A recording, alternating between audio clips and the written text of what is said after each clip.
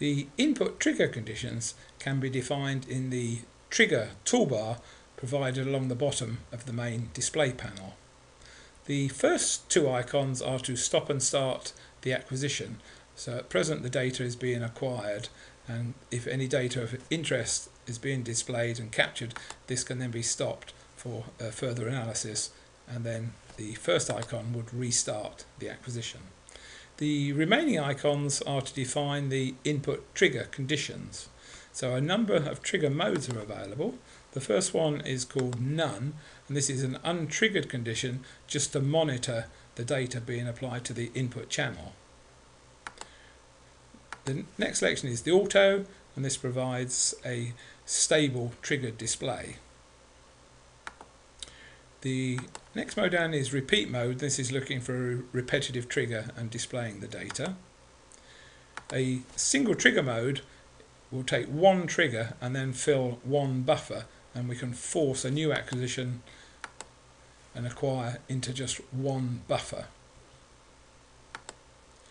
The rapid is a special mode for acquiring as fast as possible a sequence of triggers and filling a sequence of buffers. So here we can select the number of buffers. So for example, we could choose 40 buffers and then force an acquisition into 40 buffers. So here we've acquired as fast as possible 40 buffers and then we can step through the acquired data and monitor the each buffer.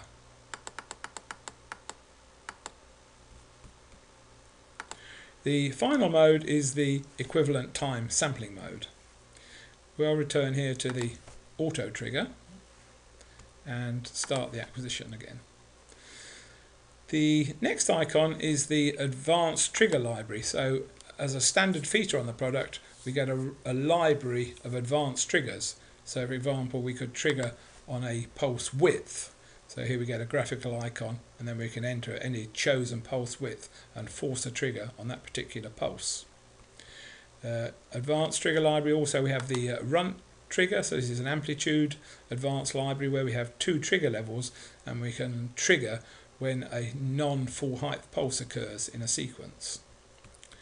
A logic trigger is also provided so here we can use the four input channels and provide a logic trigger. I'll return the trigger to the simple edge trigger. The next icon is the source. So at the moment we're triggering on channel A and a second choice would be the auxiliary I.O. for an external trigger. And indeed if channels B, C or D were turned on, these could be uh, selected as the trigger source. The following two icons are the rise and falling edge for the trigger. So at the moment it's triggering on the rising edge and we could trigger on a falling edge. So here we're triggering on the negative edge. I'll put it back to the uh, rising edge. This is the trigger level. So by default again it is on the zero trigger level and we could dial in any uh, re particular required uh, level. So here I've selected 100 millivolts and here we can see the trigger marker has moved up to plus 100 millivolts. And indeed we can just drag and position the trigger level, say at minus 200 millivolts uh, with the mouse pointer. I'll return this to the uh, center uh, to zero, so we return the trigger level to the zero. The next icon is the uh, memory position. So by default it's 50%, so we have 50% pre-data of the trigger point and 50% post-trigger. And again, we can just use the icon and move it so I could position at uh, any chosen point. So here we got now 10% pre-trigger and 90% post-trigger being displayed. Return it to the uh, default position of 50%.